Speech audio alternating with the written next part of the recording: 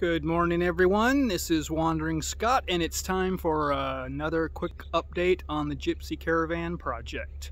Uh, today I'm just going to show you real quick the uh, solar panels. I've just got them mounted. Um, I don't have them wired up yet, but I've got them mounted up on the uh, caravan. I'm going to show you uh, how that's done. They pivot uh, and because it's a curved roof, it was a little bit of a project getting those all mounted on. But let me show you how they work. Okay, so there it is. That's our little gypsy caravan wagon with six solar panels now affixed and um, they all pivot like I said they all move. So I'll show you how those work in a sec. They're uh, 240 watts each and there's six of them four on the top one on the front and then one on the back.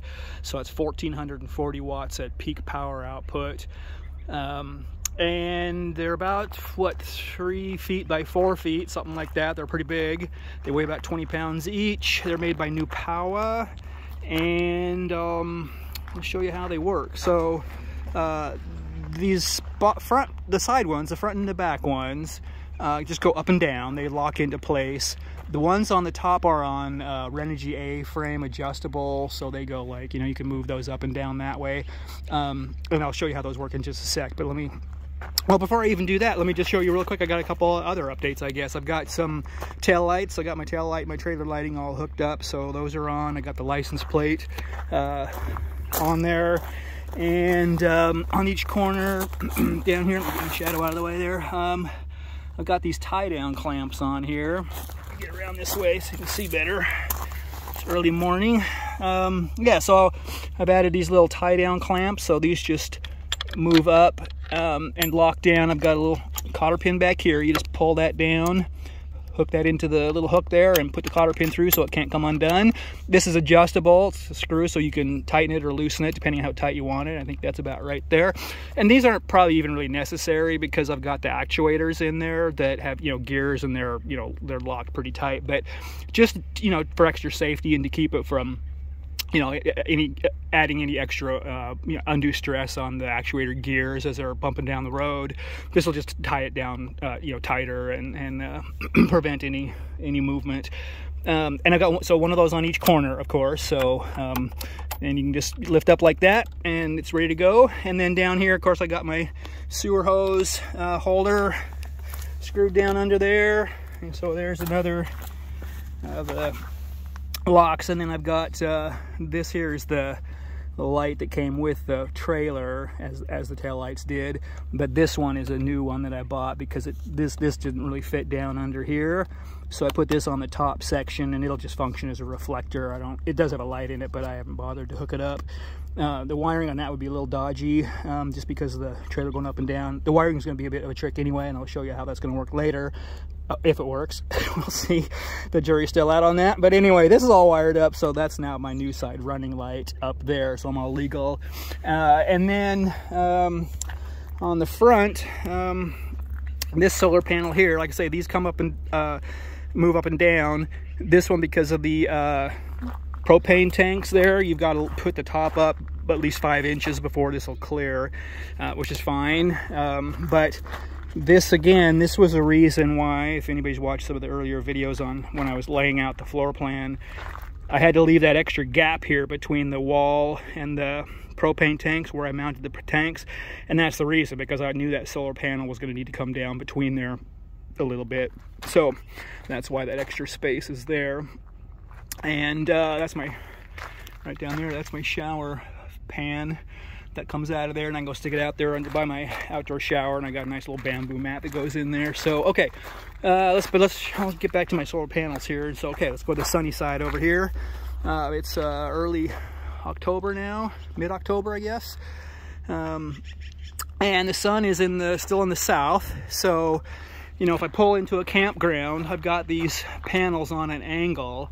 Um, so I'm gonna wanna be able to rotate them so I can get the most solar uh, efficiency out of them. And of course, the, this one just goes up and down. So I'll show you how that works. I've got these little latches on here. These are just RV baggage door latches um, that are meant to hold doors open, but they're spring loaded. So just push down on that, it will loosen, let that go. And then we got another one over here, just loosen that. And then this whole thing will just rotate up and it locks in place. And so let me back off so you can see it uh, with that up. So now with the panel up, it acts as an awning and of course catches more sun that way. And it's uh, it's um, mounted by so these these brackets here, these are just you know standard. You, I got these on Amazon and a bunch of different places make them. Um, they're designed for like a fold down shelf or a workbench, a table, something like that. You know, in your garage, you can just have an extra work table. You can just put it fold down out of the way. Um, they say that they're rated to hold 200 pounds each, so 400 pounds, but the panel itself, of course, only weighs 20 pounds, so, you know, not a lot of stress on that. It does overhang, you know, some, but, um, and it's, it's, it's anchored in with three anchor and toggle bolts on a piece I've glued, uh, used Loctite construction adhesive to put a piece of uh, that red oak, heavy red oak on there, and then use toggle bolts um, and anchor bolts to, to anchor those in. So it's, it's on there really good. Um, and then again, these are those little um, baggage latch things here that they're spring loaded and you know like I say they're designed for an RV to hold a door open but they work just as well to hold something closed and they're you know they're made out of like a cast aluminum or something like that steel or whatever um, okay so then how this goes down is just has this little latch right here so you just sort of push up on that and then you know other side also. Unlock that and then it, you'll just drop down on those. Okay so then you just go under here and pull out the little latch and lock it in. And then same on the other side over here just pull that down and push in so it locks and then that's that's now locked in there so it can't move around you know too much while it's bouncing down the road and you know tear the whole thing off um, tear up my wall or anything like that. Okay so that's the that's the front and back ones. Now the the top ones were a little more of a challenge because the roof obviously is curved. And so I made these uh, what I did is I okay, I'll uh, show you what these are first. Actually, I'll go around Uh, this one over here, so this one's locked in. Uh, it comes with these um, knobs with wing nuts in it, and there's two front and back, and then there's another one that there's a, a, third bar there that holds it open, and that's a little confusing, but I'll show you what I mean by that. This one I've got loose already, so um, I can put it up. So I'll just show you. If you can see here, you just lift up on this, and those legs will just drop down there like that. And then over here, you can just sort of move them down to wherever you want them. It's hard to do with one hand, sorry. Um, okay, there we go. Yeah, so, uh, and these have holes, you know, there's holes all up and down this, both of these. And then these bars here, if you can see, these have little holes in them too. So you can put those in, affix those in at any point to get any sort of angle on the uh, on the panel that you want. I mean, it'll just move up and down, and then um, it comes, like I said, so it comes with these uh, these knobs with the wing nut, and those are a little bit of a pain, I have to say. Um, so I went and got, this is just a test, I went and got some of these, uh, what are these things, ring, what do they call those? Like, I don't know what they call those, R ring pins or something like that. Anyway, so you can just push those through and they've got that little ball on it. And again I don't know if I can do this with one hand but um, and then just you know put that through. Yeah one hand doesn't work so well but anyway I'll have to use my other. Okay that's really bad camera work but you know you get the point. Anyway so this the, the problem with this ring pin is it's too long so it doesn't hold it up. Um, I could probably pull it out some but um, I need to find some that are shorter that that don't you know they don't go like that so yeah I don't want that to happen so I'll have to work that out but um, anyway they come with those uh, now, I think I got one in my pocket here, maybe. Um, these, they're, uh, you know, they're just, you know, screw nuts, whatever, screws with a knob on them, and then a wing nut, and you can just put them in, you know, kind of wherever you want. So, you know, whatever angle you want, um, then you can just, in theory, stick that through the hole, like that and then put your wing nut on there and it'll hold it in place. You don't even really need to have it. I mean like you can see it it's just it's holding up there.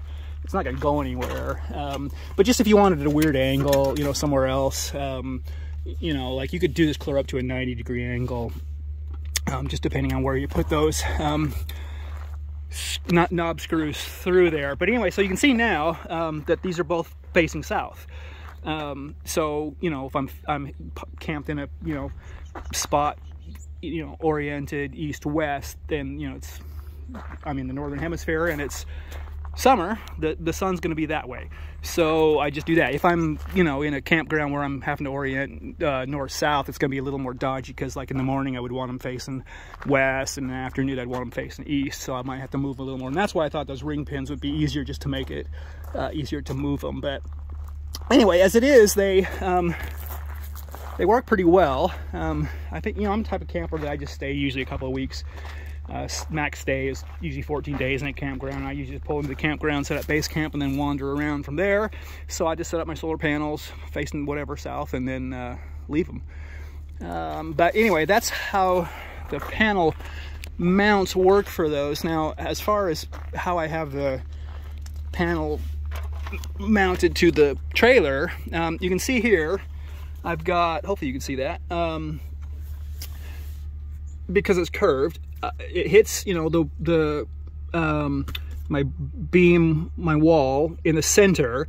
So I've got, um, well, I don't over there, but I do over here. On each end, I've got a screw in the center, a, a bolt, a heavy duty bolt going down in the middle. And then I've just cut these angle um, support, um, wedge pieces that fit in there to create a, a flat surface where the other bolts go through. And these are like these ones are two inch bolts and these ones are like two and a half or three inch bolts something like that that go down through into the into the beam. This of course is a supporting wall so no problem there. I you know put as you can see i've got some of that you know seal construction adhesive seal in there and then I put another one in where the screw is or the, the, the bolt is um, but on the inside of course um, they don't match up you know where my where my center beam is. Um, so, and of course there's no retaining wall under that. So I, what I did is I created these, I, ma I made these just on the bottom, I created a piece that spans from, you know, they, they each, the top and the bottom one each hit the center beam and they're bolted in there. And then the bottom one spans from the next two beams and is bolted in to that beam. And then the top one, I span the next one over. So it goes clear over to the next beam. And that way that um, spreads out the, dis dis distributes, yeah, that's the word, distributes the um, weight of the panels over all of the beams um, instead of having them all just on a single one. Um, because this one doesn't even have a beam under it. Um, it, a top one, it's got a bottom beam obviously, but this one does, and the other one does. So anyway, that's how I mounted those on there, and then of course those brackets are just screwed in uh, to that. And I cut, I cut a slot in this beam going this way, and then these have slots going up and down. So this is adjustable, so I can get my panels aligned correctly so they'll go, you know, up and down and, and seat right. Um, so that's how I got those affixed up there, and they're in there pretty sturdy. They're not going to go anywhere. I mean, they don't they don't move at all. The whole trailer will move if you if you shake it. So um, I'm pretty sure that's gonna that's gonna hold sufficiently. Um, so I think that's pretty much all there really is to that. It wasn't um, that hard. It just took me a little while to sort of work out the kind of most efficient way uh, to get those up there. Um, and have them be adjustable, which is what I wanted. I want them to be able to move up and down. So um, that's how that works. Um, and so the next thing I need to do is just obviously wire these in. Um, all these these cables all are going to run up down the center and go in. I've got a, a, a, a block thing, whatever, that goes right here. And I'll put, put a hole through into the inside cabinet and all those go in with, they've got fittings that all those cables plug into. It's like a distribution block. And then that'll bring it all into my cabinet uh, up the top. And then I've got that curly cord that it's going to go down into the bottom section. So that is what's up next. Um, but that is pretty much how that works. Um, I don't know as I particularly need to show you the trailer up, but um, make sure all my, I didn't lock down any of my clamps here. And I'll just put the trailer up for, yeah, we're good. Um, I'll show you how these panels look when the trailer is up.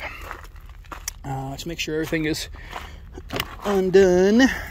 And I'm just gonna put this, I'll just hit the button in there and the trailer will go up.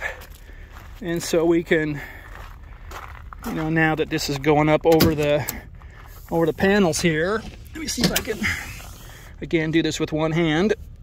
There we go. Put that up. And yeah, before it gets up too high, I'll put this one back up. Yeah, okay. All right, so uh, you definitely have to do this when the top is down because it uh, gets really tall up there, obviously.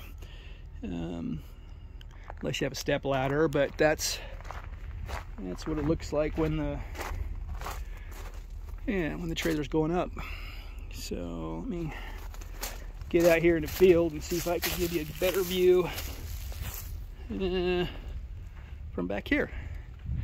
I kind of lose the nice sort of curved roof effect with the solar panels on there, but that's all right. I get uh, free electricity out of it, and that's the whole point. It's more of an efficiency thing than anything. So yeah, so there we go. There's, yeah, that's the whole thing.